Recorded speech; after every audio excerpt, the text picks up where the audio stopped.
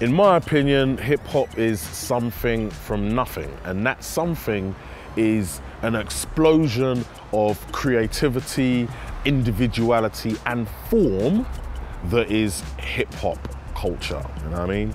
In the old school, I guess there were there was a real humble beginning of the culture. I guess nobody knew how massive it was going to be.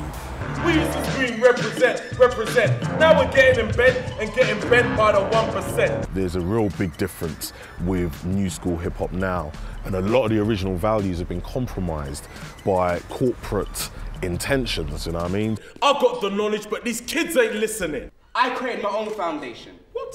YouTube, MTV, they ain't no foundation. That's illegitimate. In relation to Broken Lineage, we're definitely exploring some of the more commercial aspects of the culture and the bitterness that an old school guy has towards that. What is it with your gangster swag? You ain't a gangster, you're a dancer. Ultimately, old and new school is one thing, you know what I mean? But within the culture, people want to dissect things up a lot. So we're exploring that within Broken Lineage. Hip hop has survived for 40 years, but I'm not sure where it's going now, you understand? Hip hop is blatantly part of the establishment now, and I'm glad it is because of the role that hip hop plays in society. I received a letter about two and a half years ago, and it was an offer to accept an MBE.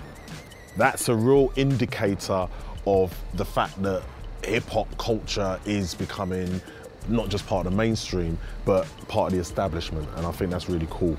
In the letter, I explore the different voices of sometimes dissent, sometimes pro MBE. What's all this about a prize? An MBE?